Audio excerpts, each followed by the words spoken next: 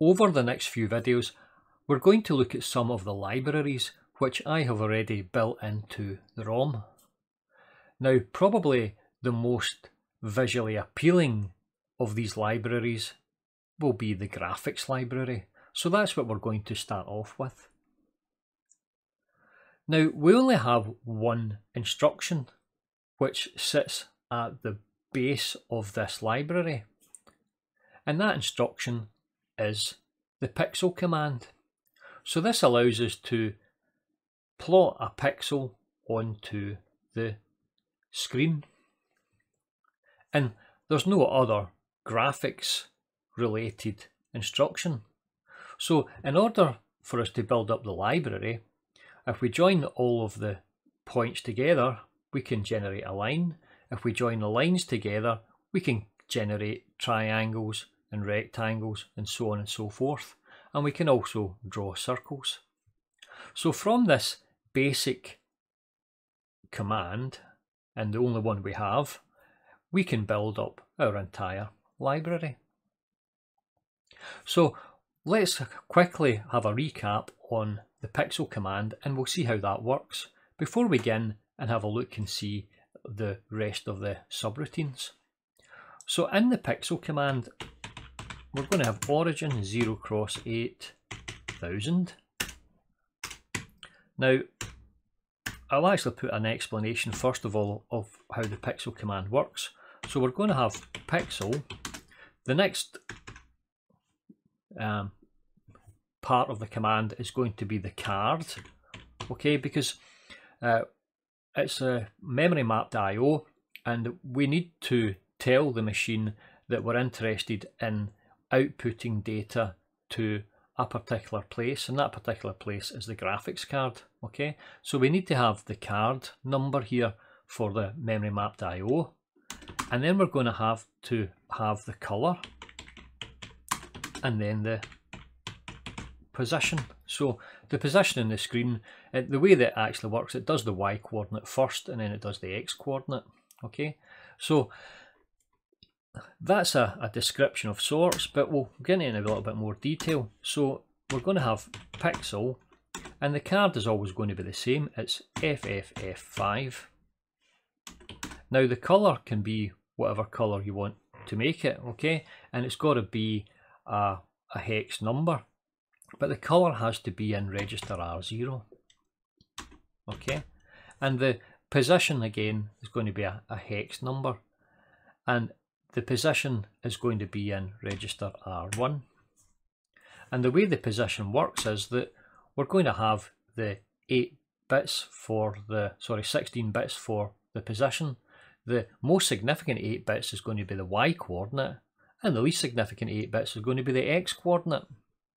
Okay, so if I was to write a little command to print a pixel to the center of the screen, I would have something along the lines of uh, data hash uh, 0 cross 8080 comma r um, 1 okay? Uh, and I'll explain that just in a minute once we get started. Data hash 0 cross and fFFF comma R0. So you can see here that R0 is going to be the colour. So the colour FFFF in our RGB is the colour white. Okay, so that goes into register R0.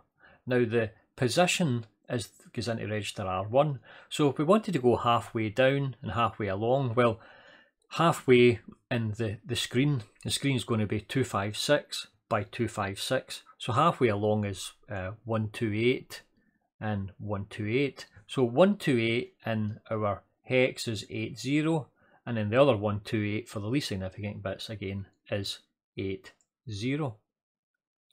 So that's going to give us our position and our colour. So what we can do is we can actually use the command then pixel and the card is going to be 0 cross triple F5 comma R0 comma R1 and we can press, we can write end, okay? So this simple little bit of code is going to print a dot in the center of the screen. So I will go ahead and assemble this and then we'll run it and we'll see it actually working. So I have gone ahead and loaded the program in. So let's just run it. And it should run fairly quickly. And there you go, we see a little dot placed in the centre of the screen. You know, maybe not the most exciting thing, but I, I quite like it. Every time I see a little dot being placed on that screen, it makes me smile.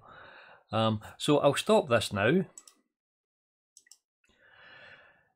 Now what we're going to do next is we're going to look at our first actual um, pixel subroutine. So this pixel subroutine um, is called plot and it makes it a little bit easier for us to place the values on the screen. So in this instance here, in order to get to the centre of the screen, we had to work out um, 8080 to get to here. But really we just want to put in the coordinates. So what I want is the centre of the screen to be coordinate 0, 0. So to get the centre of the screen, I just want to put in 0, 0 and it just finds the centre of the screen. Now, whenever I move in this direction, it's going to be positive values. So it will go all the way up to pod plus 128. When I move this way, it will go to minus 128. When I go up the way, it will be plus 128 down the way will be minus 128. So I just want just a normal xy coordinate with a positive and negative, but the maximum uh, distance we can go is one 128 uh, left, right, up, up and down. So let's have a look and we'll see that now. So I've gone to the .asm folder which contains all of our machine code and I've pulled out two files here. So the one on the left here is the actual subroutine that allows us to do the plot command. Now I'm not going to talk through the subroutine in detail. That's not part of this uh, video series. If you're interested in looking at all of the details, then this is on Design a CPU 3 course where I work my way through all of the uh, libraries. So it comes over here and this runs through and it does the plot. Now what's really important here is just to follow the route that we've seen when we looked at our subroutines. So we're going to push the value of x onto the stack, push the value of y and push the colour.